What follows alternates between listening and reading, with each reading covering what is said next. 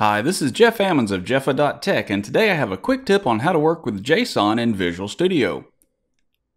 Let's grab a sample JSON object here on json.org. You can see it's a glossary object that's not terribly complex, but it would be a pain to create a set of C-sharp classes based on it. I've created a simple console app here for the demo.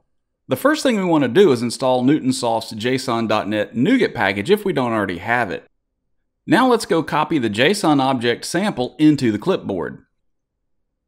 I've created a file to hold our object, so I'll just paste the JSON here.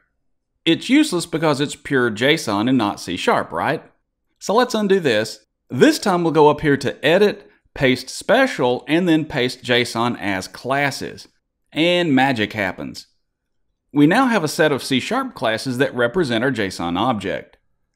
Since the top level of the JSON wasn't named, Visual Studio gave it the generic name of root object. We don't really have a context for making up a real name, so I'll just call this glossary transfer object. Back in our main method, let's new up a glossary transfer object.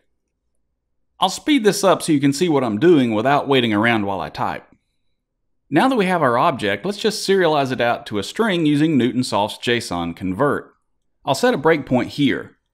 Let's stick in a console read line down here so that the app will pause before exiting, and then I'll fire up the debugger. Now that we've stopped here, I'll open a quick watch on the GTO object. I'll open this up a bit so that we can see all the properties. Now we'll step over and take a look at the string content. That's great, but the JSON is just one long string. I'll go back over here and add a formatting dot indented. I'll close this up here just to make some room so we can see it better. And there. I'll rerun it, and now the JSON is nicely formatted. You can put some logic in to format it for debugging, but leave it as one long string for production if that's what you like.